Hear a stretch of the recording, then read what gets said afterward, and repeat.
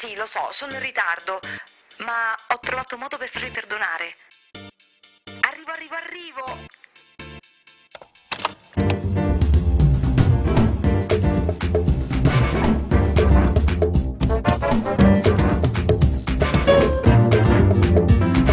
Per questo San Valentino qualche consiglio anche per le ragazze più giovani e per chi vuole un look eh, un po' sbarazzino. Da sempre lo stile Lolita intriga molto l'immaginario maschile e valorizza pienamente anche le fisicità meno prosperose. L'innocenza e un touch di ironia stanno alla base di questo mood.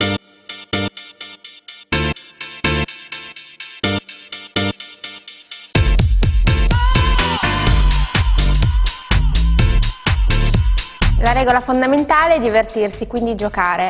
Per uno stile un po' romantico potete scegliere il pizzo sangallo, bianco tassativamente, magari anche con dettagli a contrasto rossi come nastrini e fiocchetti. Se poi volete un po' esagerare con il vostro look allora abbinate anche dei reggicalze o delle calze autoreggenti, chiaramente sempre in tono bianche, eh, per un effetto un po' infermiera. Se vi sentite invece un po' più collegiali, magari alla Gossip Girl, Potete andare su micro completi a fiorellini oppure canottierine abbinate a culotto a mutandine a vita bassa da abbinare a calze scozzesi alte fino al ginocchio. Per uno stile un po' più rock and roll e caramelloso, mi viene da dire, pensando ai colori confetto, eccetera, eh, potete fare riferimento al video di Cristina Aguilera, Candyman, dove indossa una micro gonna rosa magari da mettere con delle scarpe Mary Jane col tacco alto di vernice e un reggicalze.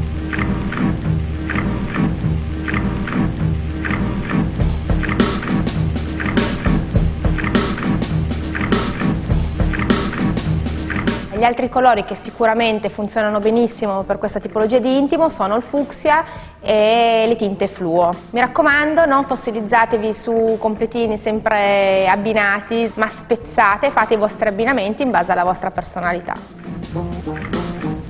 Per andare a letto potete scegliere dei super sexy pagliaccetti di seta come questo per esempio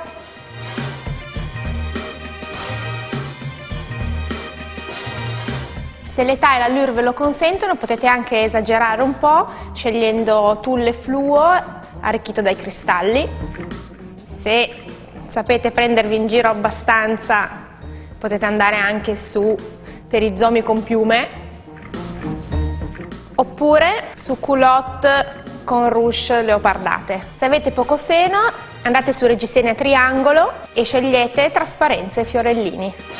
Tra gli accessori che completano il look girly sicuramente occhiali da sole a forma di cuore, piccole tiare da principessa, macro bijou a forma di dolci o di cuccioli, cerchietti di vernice colorata e da tenere in casa delle ballerine di velluto, magari anche colorate.